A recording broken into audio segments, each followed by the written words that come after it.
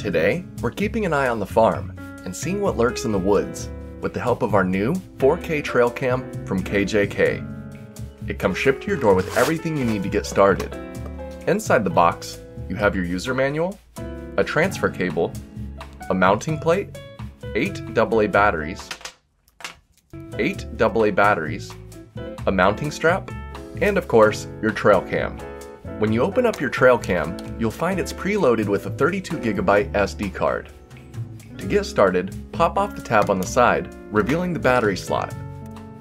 Insert the provided batteries into the trail cam, and then you're ready to adjust settings.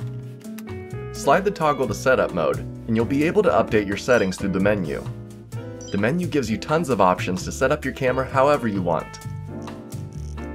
Then when you're happy, it's time to mount it. I took it out to the woods and found a foxhole with some evidence of activity.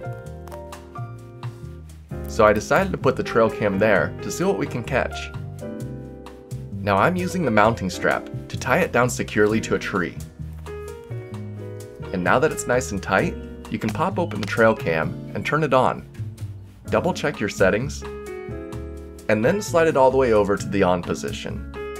It'll initiate a countdown timer and then be ready to capture. The first day, I left it in photo mode to test the photos.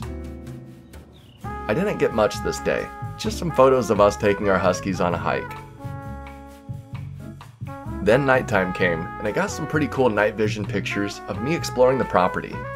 But then, we finally got our first deer. Now that I know for sure that we have some woodland critters exploring, I switched it over to video mode and set it out to see what we can get. First, we got some lovely clips of us tidying up the trail. Then, without wasting any time, we captured our first deer. A young little deer just exploring around and enjoying the sights.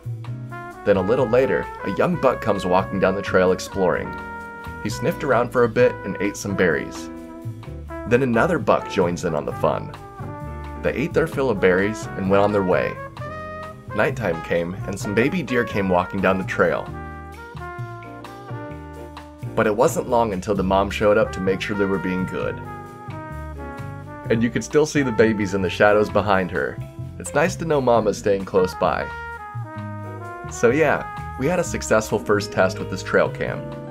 I went in expecting to outsly a fox and catch some clips of him going back into his foxhole.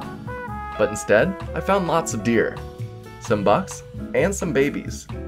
It's always exciting to come across clips of deer on the trail cam, so I'm definitely happy with the great results. And not only am I happy with what we captured on the trail cam, but the quality looks great. The 4K allows me to zoom in and out on my 1080p timeline without quality loss, and the night vision works well too. The photos are nice, and it's an all around easy to use camera. So if you're looking to get an inside look into the outside world, this trail cam might just be for you. Till next time, I'm off to go check the trail cam and see what cool clips I got today.